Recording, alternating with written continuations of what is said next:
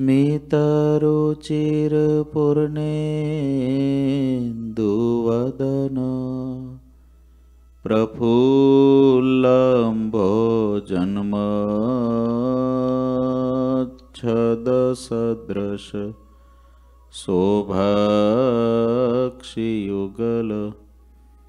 कृपा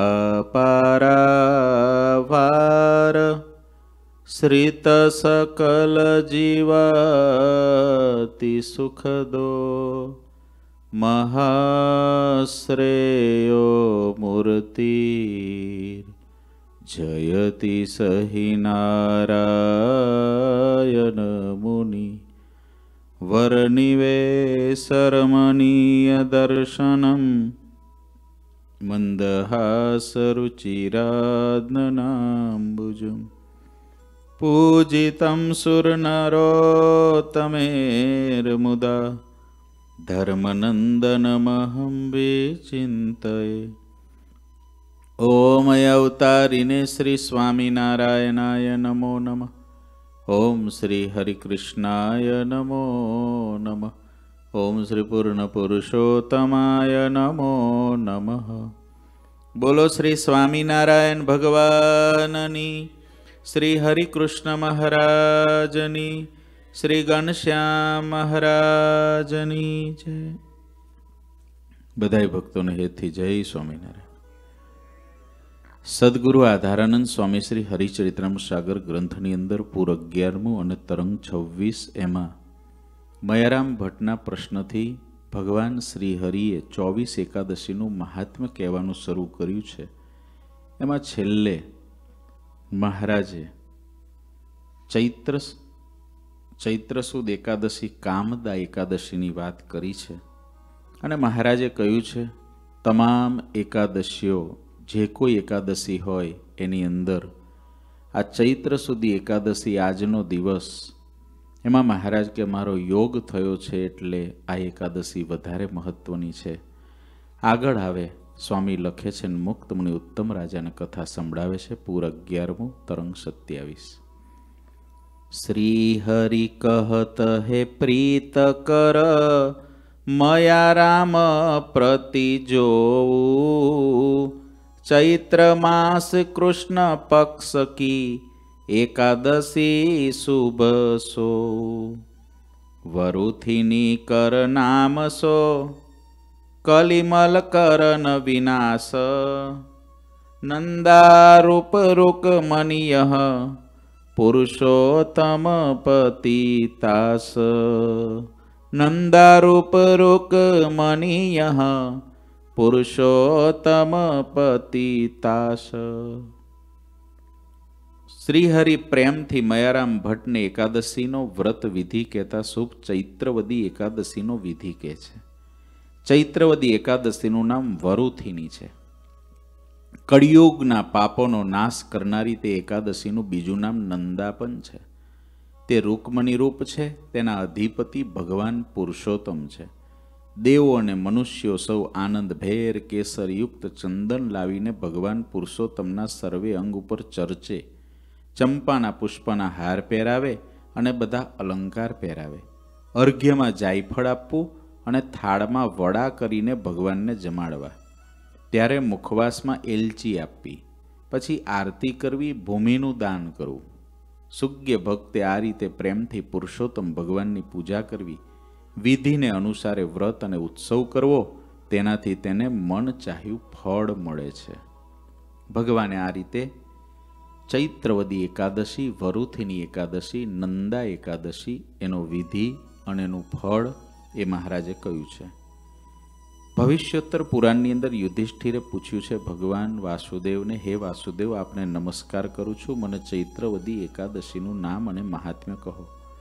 ત્યારે ભગવાન શ્રી કૃષ્ણએ યુધિષ્ઠિર પ્રત્યે આ એકાદશીનું નામ વરુથિની કીધું છે, આ લોકમાં ને પરલોકમાં સુખ અને સૌભાગ્ય આપનારી ને પાપ નષ્ટ કરનારી છે આ એકાદશી. આ એકાદશીના વ્રતથી ધુંધુમાર ને માંધાતા વગેરે રાજાઓ સ્વર્ગમાં ગયા હતા. દસ હજાર વર્ષ સુધી તપ કરવાથી જે ફળ થાય તે આ એકાદશીના વ્રત માત્રથી થાય છે. શ્રદ્ધાથી દસ હજાર વર્ષ સુધી તપ કરીએ અને આ એક એકાદશી કરીએ તો બે સમાન. શ્રદ્ધાથી વ્રત કરનાર આલોક અને પરલોકમાં વાંછિત ફળ પ્રાપ્ત કરે છે. આ વ્રતથી ભોગ અને મોક્ષ બંને મળે છે. હે રાજન, ઘોડાના દાનથી હાથીનું દાન અધિક છે. તેથી પૃથ્વીનું દાન અધિક છે, તેથી સુવર્ણનું દાન અધિક છે, તેથી અન્નનું દાન અધિક છે. કારણ કે અન્ન વડે પિતૃ, દેવો અને મનુષ્યોની તૃપ્તિ થાય છે. અને અન્નદાન સમાન કન્યાદાન છે, એમ ભગવાન પોતે કહે છે. અને બધાય દાન કરતાં વિદ્યાદાન સૌથી શ્રેષ્ઠ છે એમ વિદ્યાદાનથી જેટલું પુણ્ય થાય, એટલું પુણ્ય વરુથિની એકાદશીથી થાય છે. વરુથિનીનું વ્રત કરવાથી સો કન્યાદાનોના જેટલું પુણ્ય થાય છે. વરુથિની એકાદશીનું વ્રત કરનાર વૈષ્ણવે કાંસના પાત્રમાં ભોજન, અડદ, મસૂર, ચના, કોદરા, શાક, મધ પારકુવન વસ્તુઓ દસમીને દિવસે તજવી અને પછી એકાદશીને કેવી રીતે કરવી એ આખો અહીં આગળ વિધિ કીધો છે. અહીં આગળ આટલી જ કથા અહીં આગળ ભગવાન શ્રી કૃષ્ણે યુધિષ્ઠિરને કહી છે. આ કથાનો જે પાઠ કરે ને સાંભળે, એ આ લોકના પાપથી મુક્ત થઈને ભગવાનના ધામને પામે છે. એવું અહીં આગળ આ કથા શ્રવણ કરવાનું ફળ લખેલું છે. આગળ ભગવાન શ્રી હરિ સભાને વિશે કહે છે વૈશાખ માસ ઉજાલી જેહા મોહની નામ એકાદશી તેહા, મધુસૂદન તાકે પતિ કહાવે, મધુસૂદન તાકે પતિ કહાવે શ્રી કૃષ્ણ કેશો રૂપ રહાવે શ્રી કૃષ્ણ કેશો રૂપ રહાવે. હવે વૈશાખ મહિનાની સુધી એકાદશી મોહિની કહેવાય છે. તેના અધિપતિ ભગવાન શ્રી કૃષ્ણ મધુસૂદન નામે કહેવાય છે. મોહિનીનું બીજું નામ માધવી પણ છે. તેનું મધુસૂદનની સાથે પૂજન કરવું. અતિશય શ્રદ્ધાભાવથી દેવો તથા મનુષ્યોએ પૂજા કરવી. કેસરયુક્ત ચંદન ચર્ચું, ડોલરના પુષ્પના ઘણા જ હાર પહેરાવવા.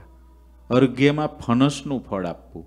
દૂધપાક ને પૂરીનો થાળ કરીને ભગવાનને જમાડવા. સુંદર નવી સૈયાનું દાન કરવું.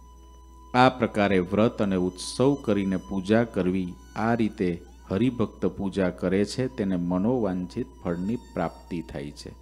આ ભગવાન શ્રી હરિએ સભાને વિશે કહ્યું છે.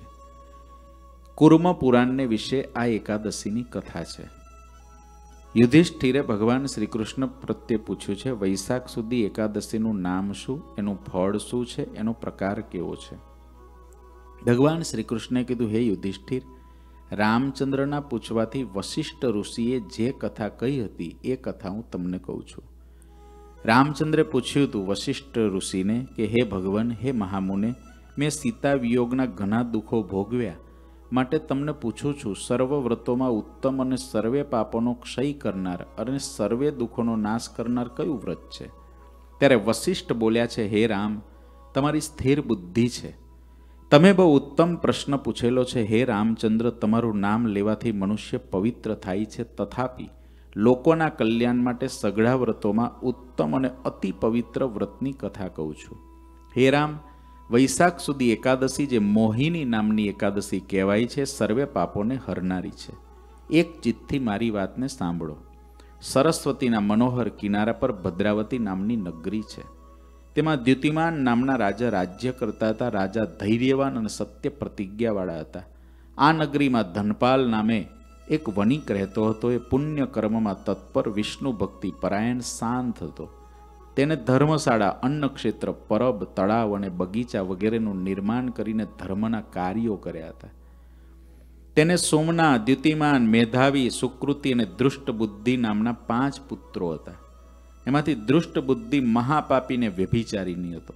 વ્યભિચારી હતો. દેવ અતિથિ, વૃદ્ધ, પિતૃ, બ્રાહ્મણ આદિ કોઈને માનતો જ નહોતો. પાંચ છોકરાનો આ એક નકામો આવી ગયો હતો.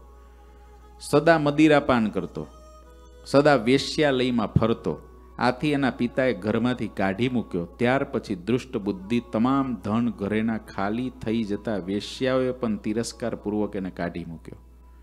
હવે દૃષ્ટ બુદ્ધિએ વિચાર કરવા લાગ્યો, હું કયા ઉપાયથી જીવી શકીશ? આવી ચિંતાથી શહેરમાં ચોરી કરવા લાગ્યો.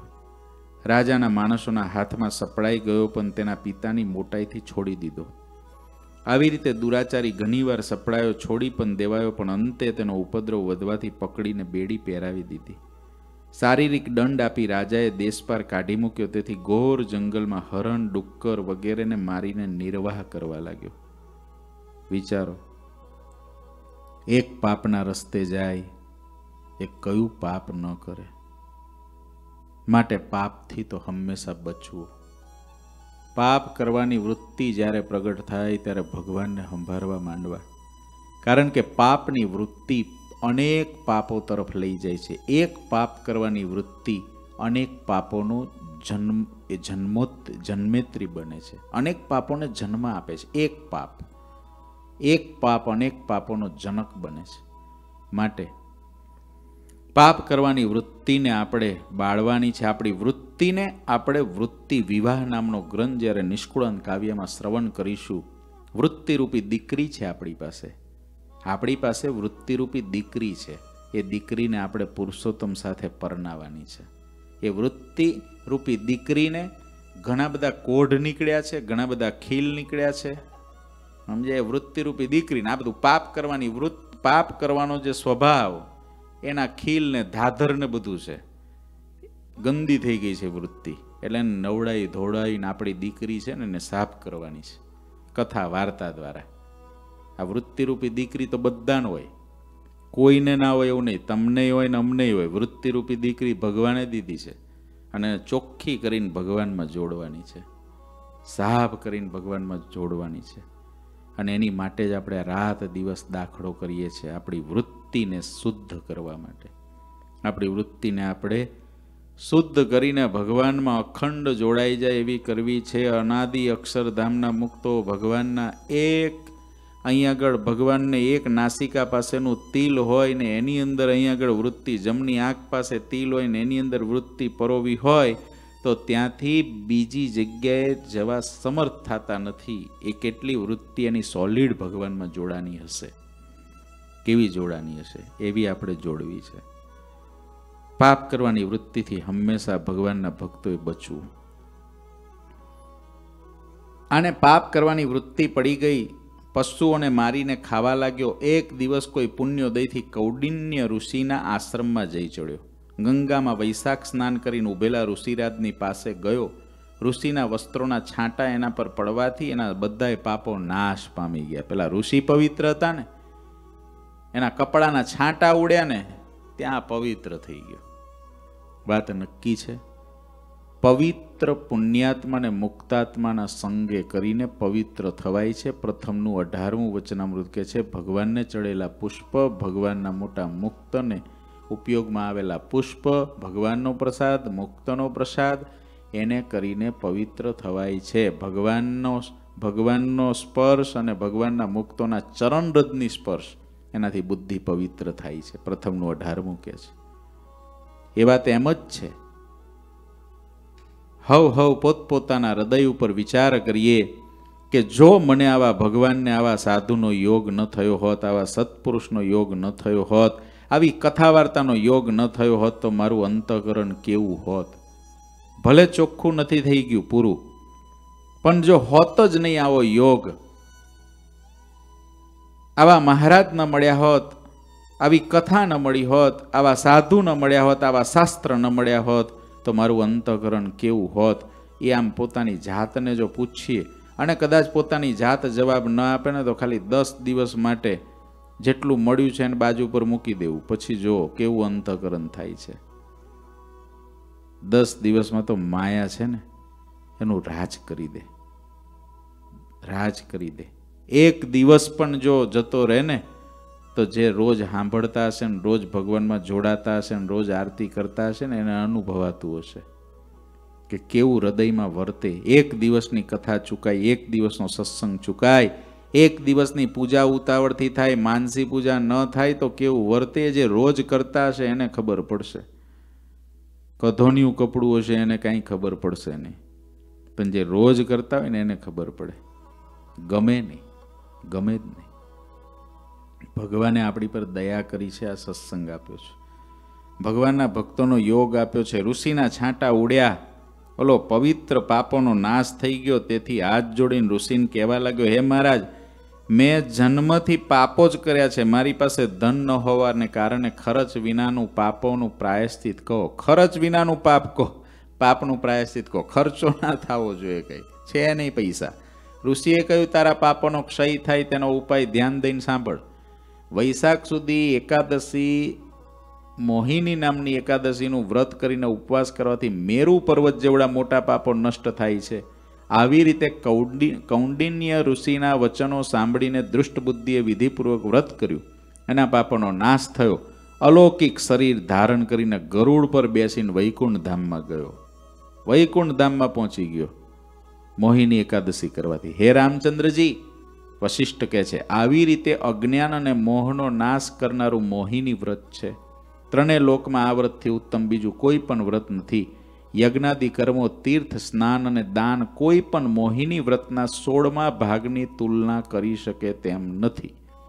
હે રાજન, આ કથા, આ કથાનો પાઠ કરવાથી અથવા શ્રવણ કરવાથી હજાર ગૌદાનનું પુણ્ય મળે છે. ભગવાન શ્રી કૃષ્ણે કીધું, હજાર ગાયોનું દાન થઈ ગયું. આ કથા સાંભળી ત્યાં.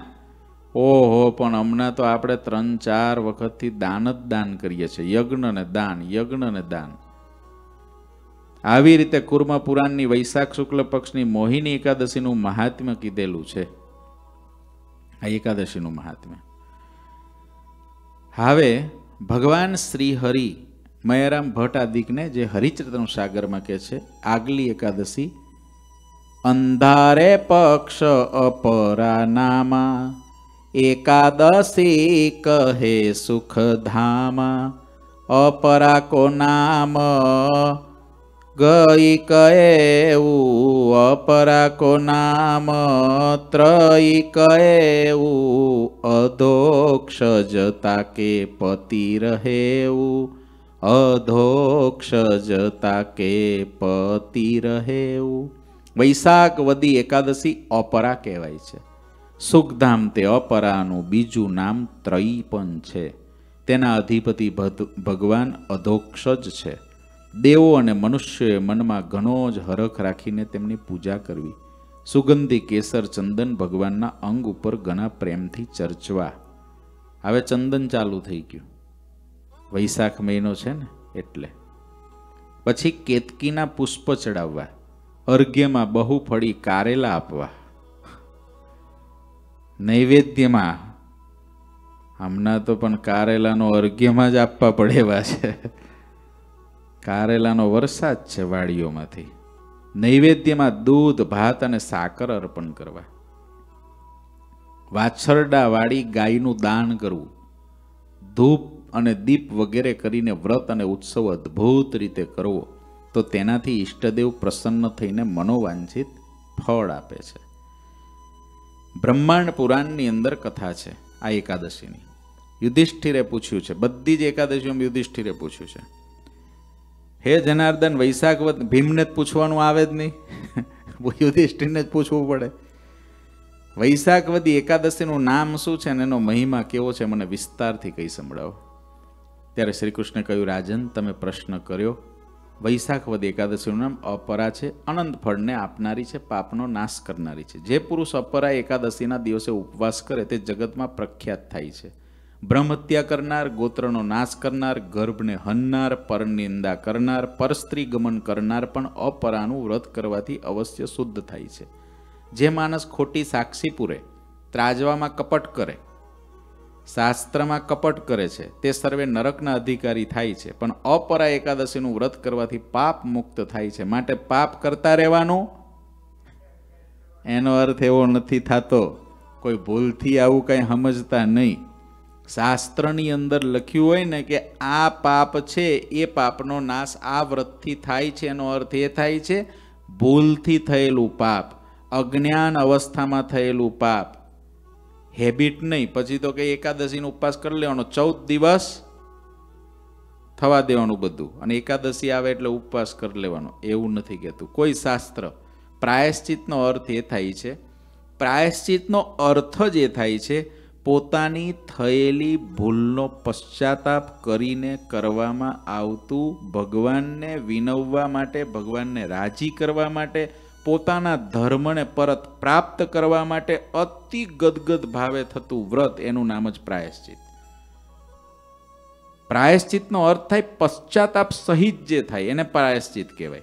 પશ્ચાતાપ વિના ખાલી બસ એવું તો છે જ ને કે એક જ વાર સ્વામિનારાયણ નામ લે જે સ્વામિનારાયણ નામ લેશે, તેના બધા પાતક બાળી દેશે. એટલે શું?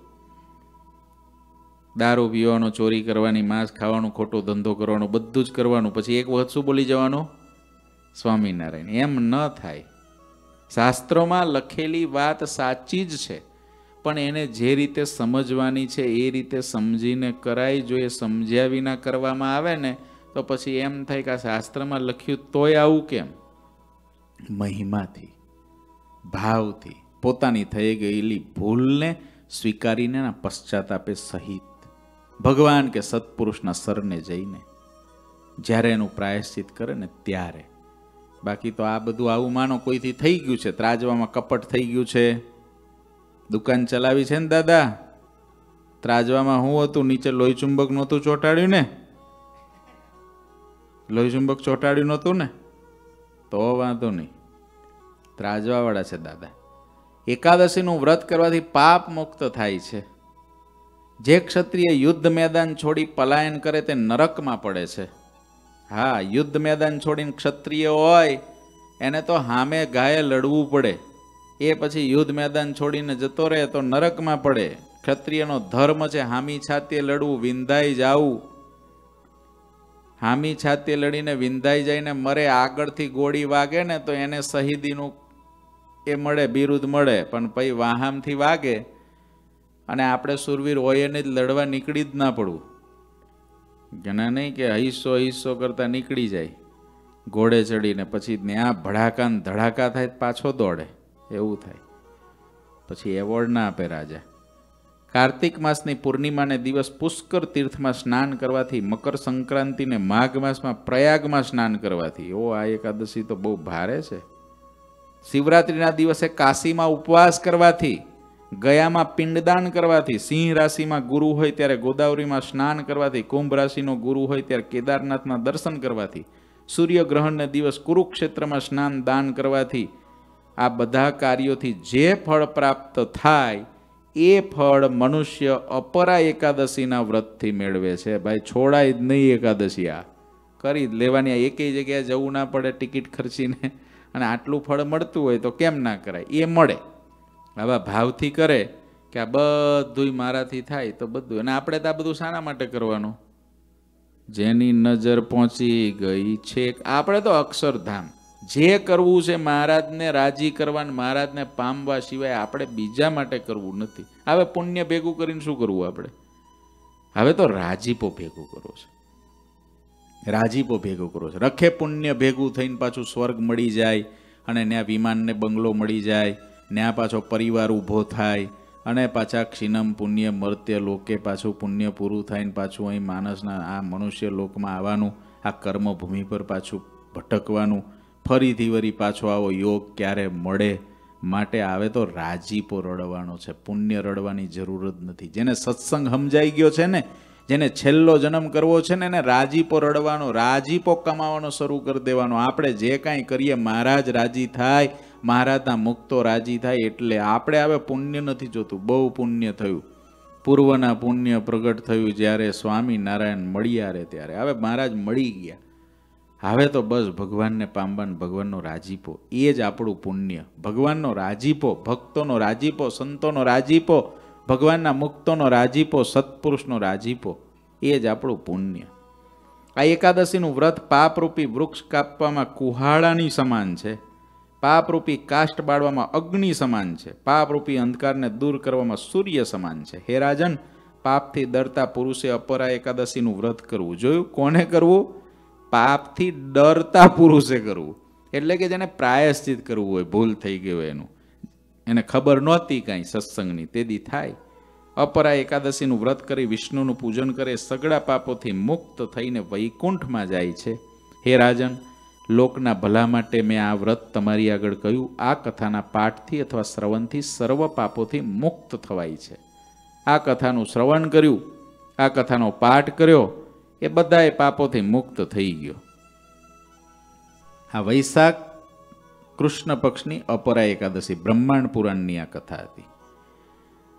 આગળ હવે ભગવાન શ્રી હરિ કે છે, જ્યેષ્ઠ માસ ઉજાલ મે નિર્જલા જેહી નામ, એકાદશી જગ પાવની ત્રિવિક્રમ દેવ સુખ ધામ. જેઠ સુધી એકાદશી નિર્જળા કહેવાય છે, તે જગતને પાવન કરનારી છે. તેના અધિપતિ દેવ સુખધામ ભગવાન ત્રિવિક્રમ છે. વિશુદ્ધ સુવર્ણના સિંહાસન ઉપર પ્રેમથી પદ્માક્ષી નિર્જળાની સાથે ત્રિવિક્રમ ભગવાનને પૂજવા. પદ્માક્ષી રૂકમણી રૂપ છે, ત્રિવિક્રમ સુખદાયક શ્રીકૃષ્ણ રૂપ છે. તેને ઘણા જ પ્રેમથી વિવિધ ઉપચારો વડે પૂજવા. શીતળતાના ગુણવાળું કેસર ચંદન લઈને સુખદાયક ભગવાન ત્રિવિક્રમને પૂજવા. જુઈના ફૂલથી ગૂંથેલો હાર પહેરાવો. થાળ ભરીને મોતીથી તેમને વધાવવા. અર્ઘ્યમાં સારી કેરી આપવી. કેરીની સિઝન શરૂ થઈ ગઈ ને એટલે. નૈવેદ્યમાં સારું દહીં અને ભાતગના હેતથી ધરાવવા. મુખવાસમાં પાનબીડું આપવું. કુંભ માટલું, પંખો અને છત્રીનું દાન આપવું.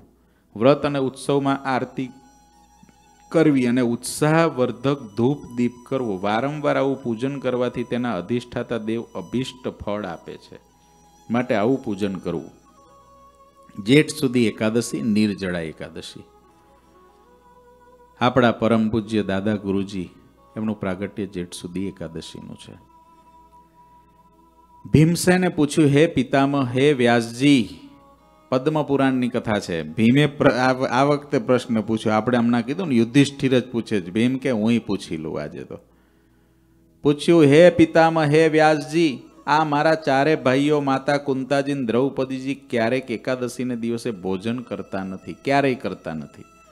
પણ મારાથી તો ભૂખ વેઠી શકાતી નથી. ભીમસેનો સાંભળજો બધાય. તેથી વગર ઉપવાસે એકાદશીનું ફળ મળે એવો ઉપાય બતાવો. કેવો પ્રશ્ન પૂછ્યો, ભીમે, વગર ઉપવાસે એકાદશીનું ફળ મળે. ઉપવાસ જ નહીં કરવાનો. એવું ફળ મળે એવું બતાવો. ત્યારે ભીમસેનનું વચન સાંભળીને વ્યાસજી બોલ્યા, જો તને સ્વર્ગ વાલું અને નરક અનિષ્ટ હોય, તો બંને પક્ષની એકાદશીએ ભોજન કરવું નહીં. તારે સ્વર્ગમાં જવું હોય અને નરકમાં ના જવું હોય, તો એકાદશીના દિવસે ભોજન ના કરતો. ભીમસેને કહ્યું, પિતામહ, દિવસમાં એક વખત ભોજન પર રહેવા હું અસમર્થ છું. તો પછી બંને વખત ઉપવાસ કેમ કરી શકું? કારણ કે મારા પેટમાં વૃક નામનો અગ્નિ છે. જેથી ખાધા વગર રહી શકાય તેમ નથી. જેથી કોઈ એવો ઉપવાસ કહો કે મારું કલ્યાણ થાય. વ્યાસજી કે ભીમ મનુસ્મૃતિને વેદમાં કહેલા ધર્મો તે સાંભળ્યા. તે સઘળા કળિયુગમાં પાડી શકાય તેવા નથી. તેથી ઓછા ખર્ચમાં સુખેથી થઈ શકે તેવું વ્રત સાંભળ. બે પક્ષની એકાદશીઓને દિવસે નિરાહાર રહે છે તેને નરક ભોગવવું પડતું નથી. આવા વચનો સાંભળી ભીમ ભયથી કહેવા લાગ્યો, હે પિતામાં ઉપવાસ કર્યા વગર ઘણું ફળ થતું હોય તેવું વ્રત મને કહો. હું તમને વારે વારે પૂછું છું, તમે ફરી મને નરક ક્યાં બતાવો વ્યાસજીએ કહ્યું, જેઠ સુદ એકાદશીનું પ્રયત્નપૂર્વક વ્રત કરવું તેમાં સ્નાન અને આચમન સિવાય જળનો સંબંધ રાખવો નહીં. જે માણસ એકાદશીના સૂર્યોદયથી બારસના સૂર્યોદય સુધી જલપાન કરતો નથી તેને પ્રયત્ન વિના સઘળી એકાદશીનું ફળ મળે છે. બારસને દિવસે પ્રાતઃકાળે સ્નાન કરી બ્રાહ્મણને વિધિથી જળ અને સુવર્ણ આપીને ભોજન કરાવ્યા પછી નિયમથી પોતે ભોજન કરવું. એટલે જ એકાદશીના બીજા દિવસે બારસના, પારનાના ઘણા બધા ભક્તો થાળ મહારાજને, સંતોને, ભક્તોને, ગાયોને, બ્રાહ્મણોને આપતા હોય છે, દાન પણ કરતા હોય છે. હે ભીમસેન, વિધિથી એકાદશીનું વ્રત કરવાથી આખા વર્ષની સઘળી એકાદશીનું ફળ પ્રાપ્ત થાય છે. આ વાત સાક્ષાત નારાયણે મને કહેલી છે, વ્યાસ ભગવાને કીધું. જેઠ સુધી એકાદશીએ નિર્જળ વ્રત કરવાથી સઘળા તીર્થની યાત્રા દાનથી પણ અધિક ફળ મળે છે. ધન ધાન્ય પુત્રએ બધાને આપનારી એકાદશીને દિવસે નિર્જળ ઉપવાસ કરવાથી કાળા યમદૂતોના દર્શન થતા નથી. પણ પીળા વસ્ત્ર પહેરનારા ચક્રને ધારણ કરનારા વિષ્ણુ દૂતો આવે છે. કહેતા યમપુરીમાં એ જીવ જતો નથી. હે જન્મ જઈ એવા જન્મ જઈ એવા વ્યાસજીના વચનો સાંભળીને એકાદશીને દિવસે પાંડવો સહિત ભીમસેને પણ નિર્જળ વ્રત કર્યું, એટલે એને ભીમ એકાદશી કહેવાય છે. ભીમે કરી તે દિવસે એમ. તેથી આ એકાદશી ભીમ અગિયારસના નામથી પ્રસિદ્ધ છે. સ્ત્રી અથવા પુરુષ જે કોઈ આ એકાદશીનું વ્રત કરે, તેના મેરુ પર્વત જેવડા મોટા મોટા પાપો પણ બળીને ભસ્મ થઈ જાય છે.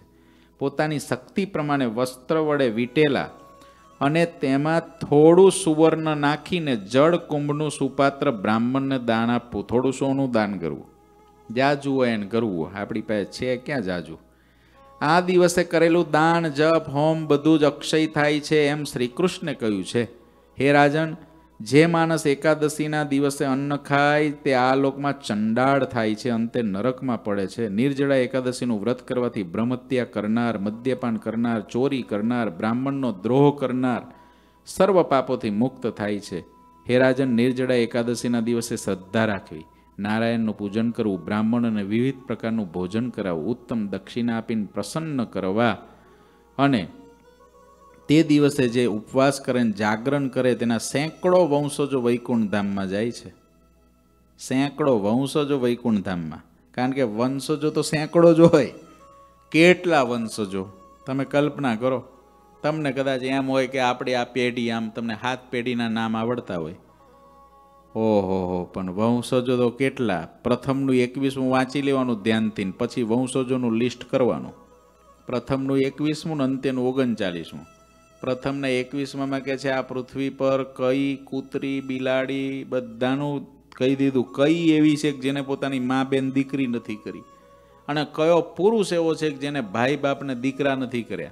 અનેક વખત સ્ત્રીના દેહ ધર્યા, ત્યારે બધા પુરુષો સાથે ભાઈ બાપ, દીકરા, પતિ આદિકના સંબંધો કર્યા. પુરુષના શરીર ધર્યા, ત્યારે જેટલી સ્ત્રી જાતિ છે, બધાય, મનુષ્ય જાતિની નહીં, બધાય સાથે મા બેન દીકરીના સંબંધ કર્યા. પત્નીના સંબંધ કર્યા અને સમુદ્ર જેટલું માનું દૂધ ધાવ્યું એમ અંતિમનું ઓગણચાલીસમું કહે છે. બોલો, વંશજોનું લિસ્ટ કેટલું થાય? ઓહો, વંશજો કેટલી પ્રકારના? ચાર પગવાળા વંશજો, આઠ પગવાળા હશે, અઢાર પગ, હજાર પગવાળા હશે, બધી રીતના હશે. નાનામાં નાના જીવથી માંડીને વૃક્ષ વેલીઓમાં બધી જગ્યાએ હશે. માટે ભગવાન ભજીને આવે એક જ સંબંધ, ભગવાનનો બહુ ચોખ્ખો સંબંધ કરીને, ભગવાનના મુક્તોનો ચોખ્ખો સંબંધ કરીને, ભગવાનના ધામને પામવું જન્મ મરણના ચક્કરમાંથી છૂટી જવું. આ માયાના ફંદામાં હવે આવવું નથી. આ પાકું રાખવું. એકાદશીના દિવસે સુપાત્ર બ્રાહ્મણને અન્ન વસ્ત્રને સૈયા ગાય આસનને કમંડળનું દાન કરનાર અવશ્ય વિમાનમાં બેસીને સ્વર્ગમાં જાય છે. આ કથા આ કથા ભાવથી સાંભળે ને સંભળાવે, તે સ્વર્ગને પામે છે. ભાઈ, અમે સંભળાવીને સાંભળી પણ સ્વર્ગમાં ના મોકલતા. હા, પણ આ તો માલિક જ મહારાજ છે. પણ ઝાઝા ભાગના જગતની અંદર સ્વર્ગથી અધિક કોઈ કશું જાણતું જ નથી. ઝાઝા ભાગનાને તમે પૂછો, ક્યાં જઈએ? ભાઈ, મરીને સ્વર્ગમાં જઈએ ને. અને સ્વર્ગને તો મોક્ષ ધર્મની અંદર મહારાજ કે છે, ભગવાનના ધામ આગળ નરક જેવું કીધું, પાયખાના જેવું કીધું છે. ભગવાનનું ધામ આગળ તો સ્વર્ગ પાયખાનું છે. જેમ પેલા ટોયલેટ મૂતરડીમાં ગયા હોય એવું કીધું, પાયખાનાનો અર્થ જ એ થાય. મોક્ષ ધર્મને વિશે આવું કીધું છે. શાસ્ત્રોમાં તો છે જ, મોક્ષ ધર્મ મહાભારત, એમાં છે જ બધું. પરંતુ એને ગોતવું બહુ મુશ્કેલ છે. જ્યારે શ્રીજી મહારાજે આપણને સીધું લક્ષ બંધાઈ દીધું. એટલે મહારાજ સર્વોપરી છે સર્વ અવતારના અવતારી છે. એટલે આપણે કહીએ છીએ મહારાજ જેવું કશું નથી. આવી રીતે મહાભારતમાં અને પદ્મ પુરાણમાં જ્યેષ્ઠ શુક્લ પક્ષની નિર્જળા એકાદશીનું મહાત્મ્ય, મહાભારતના બે જગ્યાએ કીધું છે. આગળ મહારાજ કે છે, અંધારે પક્ષ મે જોગની નામા, એકાદશી આઈ સુખધામા નૃસિંહ પ્રભુ કુશો પ્રિય અપારા, દેવ પૂજત. ભય કર પ્યારા, દેવ પૂજત. ભય કર પ્યારા. જેઠવદી એકાદશી યોગીની એકાદશી છે. ભક્તોને માટે સુખનું ધામ છે. ભગવાન નૃષિજી તેના અધિપતિ દેવ છે. પ્યારા તે દેવને ઘણા પ્રેમથી પૂજવા ક્ષેમ કરી જે તેની શક્તિ છે, તે રૂકમણી રૂપ છે. નૃષિ રૂપ શ્રી કૃષ્ણ ભગવાન ભક્તોને ઘણું સુખ કરનારા છે. ભક્તોના જે વેરી હોય, તે બધા નૃષિ ભગવાનની પૂજાથી સમી જાય છે. શાંત થઈ જાય છે. ભૂત, પ્રેત, મંત્ર, જંત્ર, કાળ, જવર, સર્પ, વીછી આદિ કનિષ્ઠ તત્વોને વીર તથા વિવિધ પ્રકારની કૃત્યાઓને નઠારી, ડાકીની, સાકીની વગેરે ઉપદ્રવી તત્વોના આ દિવસે વિધિવત નૃષિજીની પૂજા કરવાથી વિનાશ થાય છે. બધા દેવો પણ ઉપચારો એકઠા કરીને વિધિ પ્રમાણે વારે વારે ઋષિજીની પૂજા કરે છે. મહારાજ કહે છે આ બધું. માટે સુગંધી કેસરી ચંદન લઈને પ્રેમ ભાવમાં તરબોળ થઈને તેમની પૂજા કરવી. ભાંગરાના પુષ્પોનો હાર પ્રેમથી પહેરાવવો. આ તો દાદા તમે જોયા હોય, અમે નથી જોયા. મનને પ્રફુલ્લિત રાખીને અર્ઘ્યમાં જાંબુ આપવા. આ બધું આપવા ભારત કા ફ્લોરિડા જવું પડે. નૈવેદ્યમાં પેંડાનો થાળ હેતથી ધરાવવો.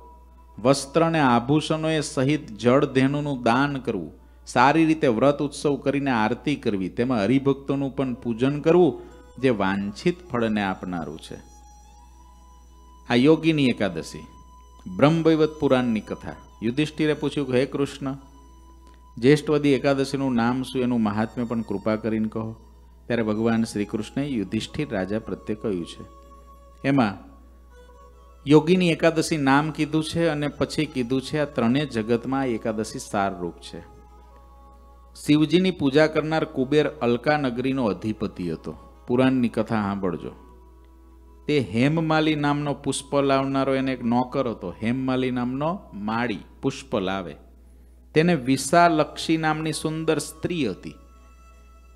બંને પતિ પત્નીને ખૂબ જ પ્રેમ ભાવ હતો. તો હોય જ એક દિવસ હેમમાલી માનસ સરોવરથી પુષ્પ પોતાના ઘેર લાવ્યો. પણ પત્નીના પ્રેમમાં ત્યાં જ રોકાઈ ગયો. તે કુબેરના આવાસે પુષ્પો આપવા ગયો નહીં. કુબેરને ત્યાં નોકરી કરતો હતો. ન્યા ના ગયો. ઘરવાળા જોડે હેત થઈ ગયું. ઘેર જ રોકાઈ ગયો. આ બાજુ કુબેર શિવ પૂજન કરતા હતા. મધ્યાહન સુધી પણ પુષ્પો આવ્યા નહીં. એટલે બીજા પુષ્પો આપવાના, આ બાજુ પુષ્પો આપવાના ભૂલી જઈને હેમમાલી પોતાની પ્રિયા સાથે વિહાર કરતો હતો. આથી કોપાયમાન થઈને કુબેરે યક્ષોને તપાસ કરવા મોકલ્યા. યક્ષોએ કહ્યું, હે મહારાજ, એ તો ઘરમાં રહીને પોતાની સ્ત્રી સાથે વિહાર કરે છે. આ સાંભળીને કોપાયમાન હેમ, કુબેરે હેમ માલીને પાસે બોલાવ્યો અને ડરતો ડરતો ઓલો આવ્યો ત્યારે કુબેરે કીધું, હે દુષ્ટ, હે દુરાચારી પુષ્પ ન પહોંચાડી તે દેવોનો અપરાધ કર્યો છે. માટે તું કોઢિયો થા. સ્ત્રીથી છૂટો થા અને અધમ સ્થાનમાં જઈને પડ. એવી રીતે સાપ આપ્યો તેથી હેમમાલી ભયંકર વનમાં પડ્યો અને કોઢ ફૂટી નીકળવાથી પીડા પામતો હતો. અંજળ વિના નિંદ્રા પણ આવતી ન હતી, આમ પોતાના પૂર્વ કર્મને સંભાળતો, ભમતો ભમતો હિમાલય પર્વત પર ગયો. ત્યાં મુનિશ્રેષ્ઠ મહાતપસ્વી માર્કેન્ડે મુનિ જોવામાં આવ્યા. હેમમાલી એમના આશ્રમમાં ગયો. મુનિ રાજના ચરણમાં નમસ્કાર કર્યા અને એને કોઢ નીકળેલા જોઈને મુનિ બોલ્યા, તને કોઢ સાથે નીકળ્યા તારી આવી દશા કેમ થઈ? ત્યારે હેમમાલીએ કીધું, હું યક્ષરાક્ષ કુબેરનો નોકર છું, મારું નામ હેમમાલી છે. કુબેર શિવ પૂજન માટે દરરોજ કુબેરને હું પુષ્પ લાવીને આપતો, એક દિવસ કામાતુરું થયો, મારી સ્ત્રી સાથે સ્ત્રી સુખમાં મગ્ન થવાથી પુષ્પ પહોંચાડી શક્યો નહીં. કોપાયમાન કુબેરે મને શાપ આપ્યો, જેના દ્વારા મને આવા કોઢ થયા છે અને મારી આવી દશા થઈ છે.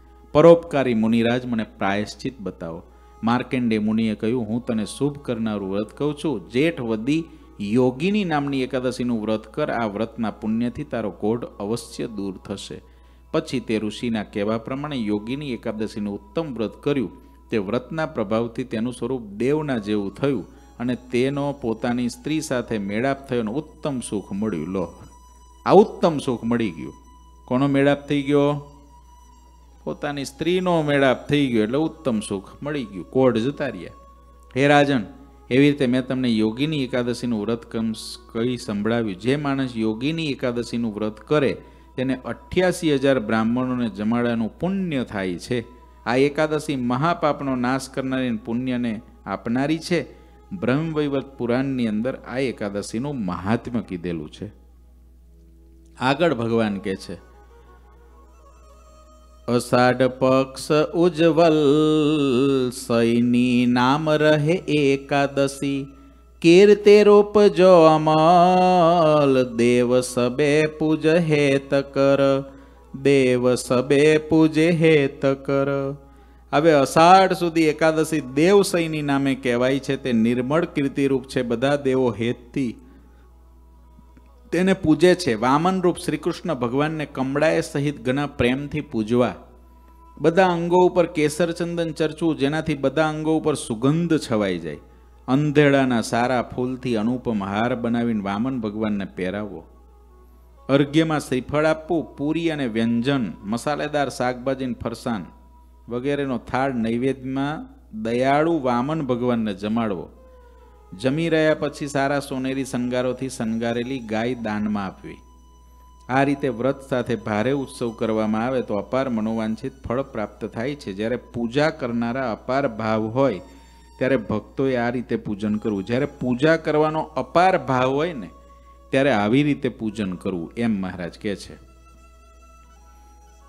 બ્રહ્માંડ પુરાણની અંદર યુધિષ્ઠિર રાજાએ પૂછ્યું છે, હે કેશવ, અષાઢ સુધી એકાદશીનું નામ શું છે? એના દેવવ્રતનો કેવો પ્રકાર?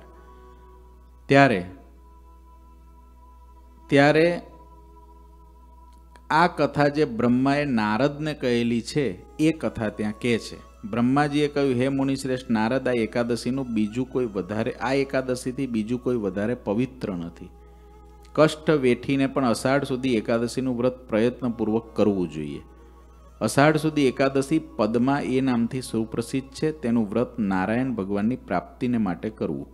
માનધાતા નામે સૂર્યવંશી રાજા હતા, સત્ય પ્રતિજ્ઞાવાળા અને પ્રતાપી હતા, ધર્મથી પ્રજાનું પાલન કરતા હતા, એમની પ્રજા ધન ધાન્યથી સમૃદ્ધ હતી. કોઈ એક વખત પાપ કર્મ ભોગવવાનો વખત આવ્યો ત્યારે રાજ્યમાં પણ વર્ષો સુધી વૃષ્ટિ થઈ નહીં. માનધાતા રાજામાં વૃષ્ટિ ના થઈ એના રાજ્યમાં. પ્રજા ભૂખે મરવા લાગી. પ્રજા સાથે મળીને રાજા પાસે આવીને કહેવા લાગી, મેઘરૂપી નારાયણ જ વૃષ્ટિ કરે છે, માટે સગડાને સુખ થાય ઉપાય કરો. રાજા બોલ્યો, તમારી વાત સત્ય છે, અન્ન બ્રહ્મય છે, સગડા પ્રાણીઓ અન્નથી તૃપ્ત થાય છે. આમ પ્રજાના હિત માટે માનધાતા રાજા ઘોર વનમાં જઈને મુનિઓના આશ્રમમાં ફરવા લાગ્યો. ત્યાં બ્રહ્માના પુત્ર અંગીરા ઋષિના દૂરથી દર્શન થયા. રાજા ઘોડા પરથી ઉતરીને હાથ જોડીને મુનિ પાસે ગયા, એને જોઈને મુનિએ આશીર્વાદ આપ્યા અને રાજાને સમાચાર પૂછ્યા. ત્યારે રાજા પણ પોતાના આવવાનું કારણ મુનિરાજને કહેવા લાગ્યો. રાજાએ કહ્યું, ભગવાન, હું ધર્મથી પૃથ્વીનું પાલન કરું છું, છતાં પણ મારા દેશમાં વૃષ્ટિ થતી નથી. પ્રજાના યોગ ક્ષેમનો ઉપાય બતાવો. અંગીરા ઋષિએ કહ્યું, હે રાજન, આ સત્યુગમાં ધર્મ ચાર પગવાળો છે. આ યુગમાં બ્રાહ્મણને તપ કરવાનો અધિકાર છે, છતાં અન્ય કોઈ તપ કરે છે. બ્રાહ્મણો તપ કરતા નથી, બીજા તપ કરે છે.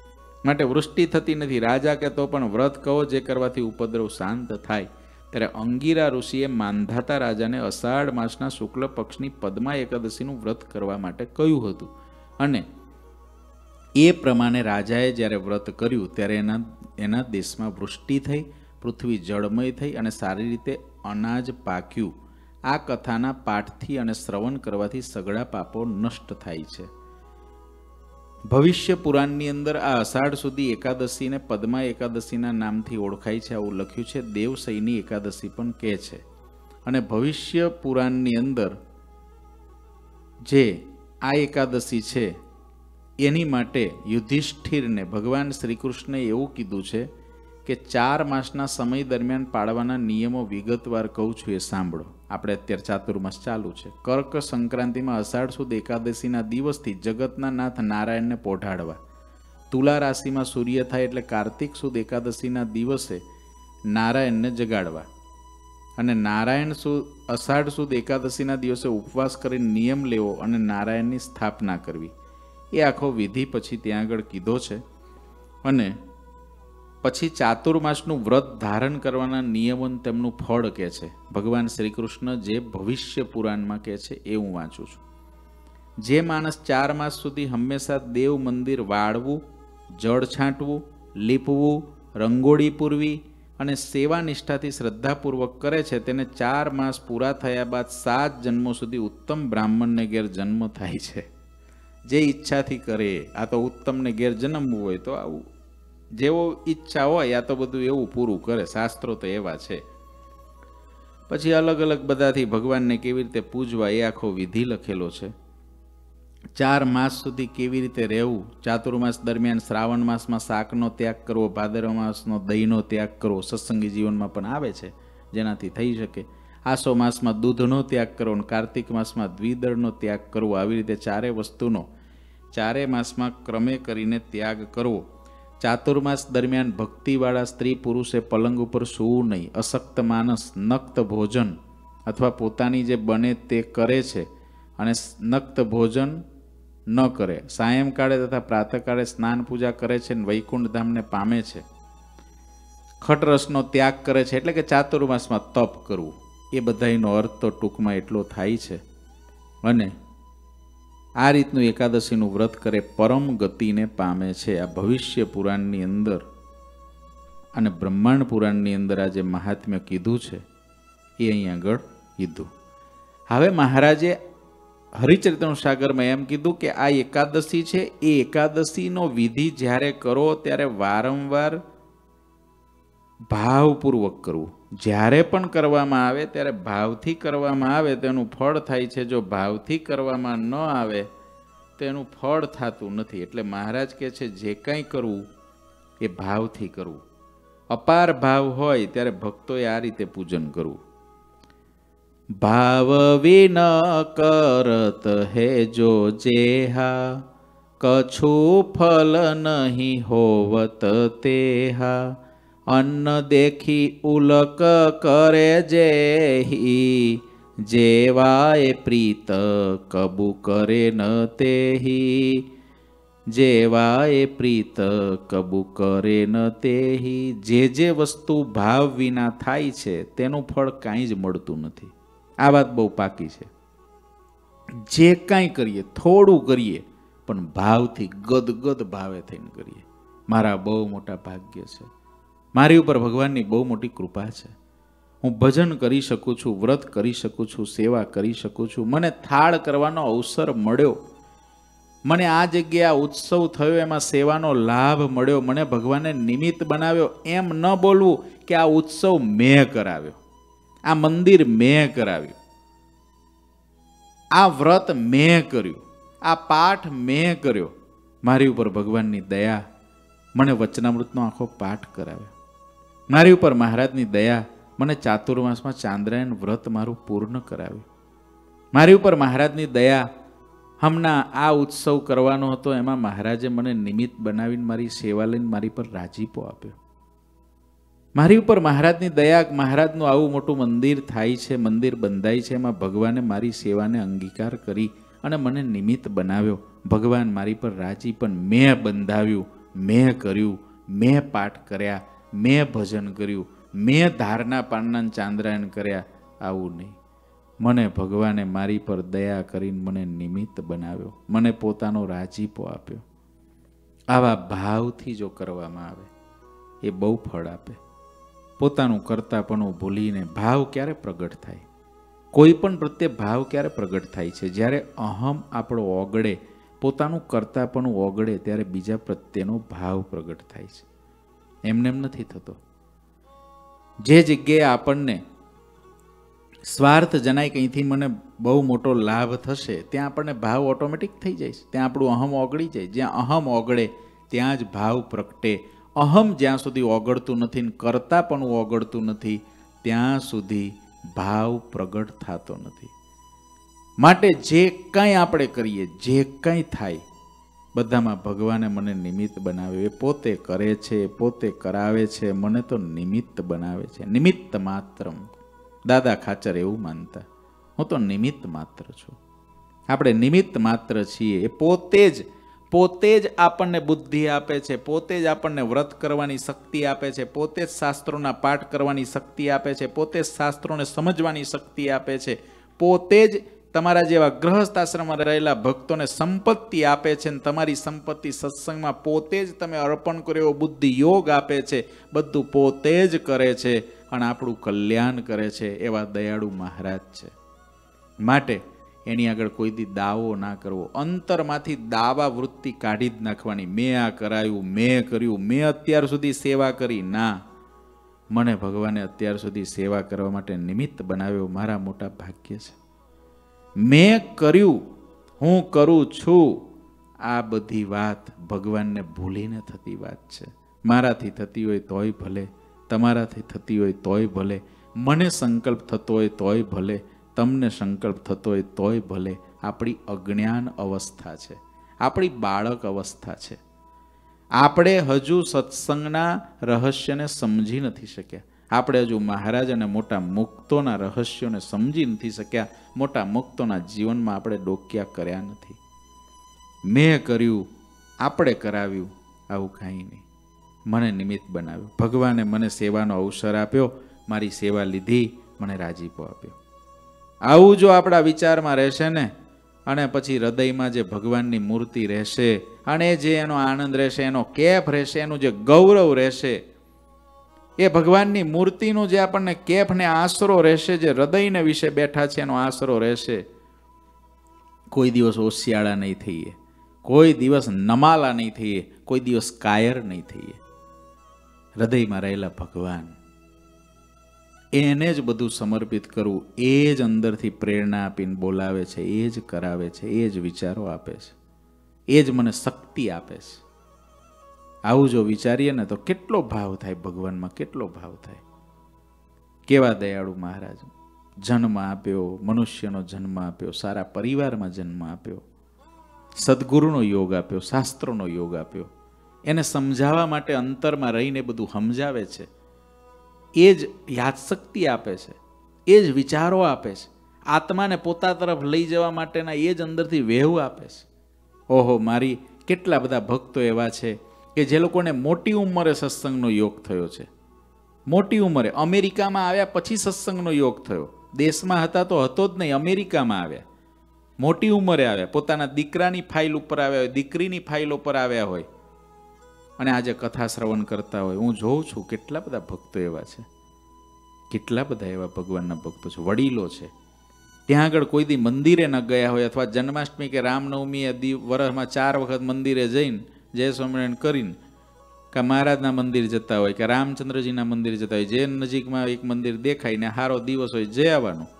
બાકી કાંઈ બીજી સમજણ ના હોય, આજે એ બધા ભક્તો મંતવ્ય લખે છે. વચનામૃત વાંચતા હોય ત્યારે આંખમાંથી આંસુડા પડે છે. વચનામૃતની વાત પૂછતા હોય ત્યારે રડી પડતા હોય છે. આ બધું જોઈએ ત્યારે આશ્ચર્ય લાગે કે મહારાજ કેવા મોટા પ્રતાપી છે. કોઈને પાછલી ઉંમરમાં આટલો યોગ થઈ જાય તોય કેવા કેવા થઈ જાય. કેવા થઈ જાય? કેવા ભગવાનના ભક્તો છે? આખો દિવસ વચનામૃત વાંચ્યા કરે. આખો દિવસ વચનામૃત વાંચે. વંદન છે એવા ભક્તોને કે જેને આ ઉંમરે આવું આવું આવું આવું આખું આ પ્રકારનું ખેંચાણ થઈ ગયું. હમણાં શનિવારે વચનામૃત જયંતિ ઉજવાય, ત્યારે તમે જોજો જ ખરા આપણા નાના ભગત એક બોલશે વચનામૃત, કેવું વચનામૃત બોલે છે? આપણને આશ્ચર્ય લાગે કે આટલી નાની ઉંમરમાં ભગવાને એના પારિવારિક સંસ્કારો એની એના હૃદયમાં રહેલા ભગવાન એ બાળકની જીભ ઉપર રહીને બોલે, એટલું સુંદર વચનામૃત મધ્યનું ચોપ્પનમું બોલશે ભગત આપણા નાના. શનિવારનો વચનામૃત જયંતિનો કાર્યક્રમ દરેક ભક્તો ઓનલાઈન ખાસ જોજો. જે જે વસ્તુ ભાવ વિના થાય છે, એનું કંઈ ફળ મળતું નથી. જેમ અન્ને દેખીને જે ઉલટી થતી હોય, તેને ભોજન ઉપર ક્યારેય પ્રીતિ થતી જ નથી. અન્ને જોઈને જ ઉલટી થઈ જાય એને ભોજન ઉપર પ્રીતિ થાય? કોઈ દી ના થાય. તે જ રીતે ભાવ વિનાની બાબતમાં ફળ સમજવું. ભાવ હોય તો તેનું ફળ અગણિત પ્રમાણમાં થાય છે. ભાવ વિનાનું અંતકરણ તો ખારી ભૂમિ જેવું છે. ભાવ જેના હૃદયમાં ના આવે તો ખારી ભૂમિ જેવો છે. આપણું હૃદય તો માખણ જેવું કોમળ જોઈએ. ભાવુક જોઈએ.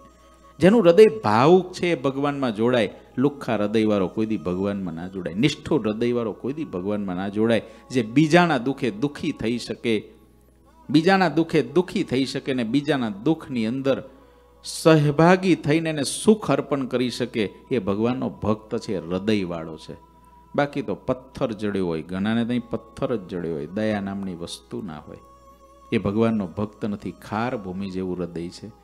એ ભગવાનની આગળ આંસોડું ન પાડી શકે, એ ભગવાનની, ભગવાનમાં મસ્ત ન થઈ શકે, એ ભગવાનમાં ન ખેંચાઈ શકે, એના વર્તન વાણી કે જીવનથી કોઈના ભગવાનમાં હેત ન થઈ શકે. ભગવાનનો ભક્ત તો ભાવુક જોઈએ. નરસિંહ મહેતા, મીરાબાઈ, મુક્તાનંદ સ્વામી, પ્રેમાનંદ સ્વામી, ભાવવાળા. આજે પણ કેટલા બધા ભગવાનના ભક્તો એવા છે જેના હૃદય ભાવુક છે. કરોડો વંદન છે એવા ભક્તો ગમે તે ઉંમરમાં હોય, ગમે તે શરીરમાં હોય.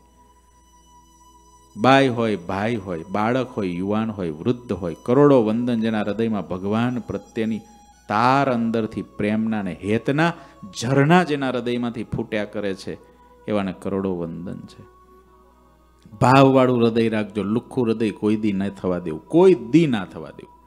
ભાવવાળું હૃદય. અને ભાવ તો જ થશે રોજ ભગવાન, આ કેવા મોટા મહારાજ, ક્યાં અમે, ક્યાં આપ? આ કેવા મોટા સદગુરુ, ક્યાં અમે, ક્યાં આપ? આ કેવા મોટા સંતો, ભક્તો, ક્યાં અમે, ક્યાં આપ? આ કેવા શાસ્ત્રો, ક્યાં અમે, ક્યાં આપ? બસ આના બધા વિશે આવું વિચારશું ને, તો ભાવવાળું હૃદય રહેશે. આ મને મળ્યું છે કેવું છે. મારી લાયકાત કરતાં મારી પ્રાપ્તિ કેટલી મોટી છે. મારી લાયકાત નથી આ પ્રાપ્તિની. એવી પ્રાપ્તિ મને મહારાજે દીધી. મારા મહારાજ કેવા કરુણાના સાગર, કેવા દયાળુ. આવો જો વિચાર રહેશે, તો હૃદય ભાવુક રહેશે, ભીનું રહેશે ભીનું રહેશે. આંખો ભીની રહેશે, હૃદય ભીનું રહેશે, અને ત્યારે ભગવાનને પણ છે ને ભીનામાં રહેવું ગમે છે, લુખ્ખામાં તો ભગવાનને બિલકુલ ગમતું નથી. ભગવાન ત્યાંથી ભાગે છે, માટે હૃદયને ભાવવાળું રાખો, ભાવથી ભરેલું રાખો. જે કોઈ બાબત કહેવાતી હોય, તેમાં જો ભાવ ન હોય તો તે નિર્જીવ થઈ જાય છે. જેટલો ખપ હોય તેટલી તેમાં ભાવના થાય છે. જો ખપ ન હોય, તો તેનો ભાવ ટકતો નથી.